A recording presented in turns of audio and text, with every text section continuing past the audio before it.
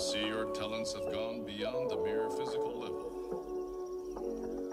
Your skills are now at the point of spiritual insight. I have several questions. What is the highest technique you hope to achieve? To have no technique. Very good. What are your thoughts when facing an opponent? There is no opponent. Then why is that?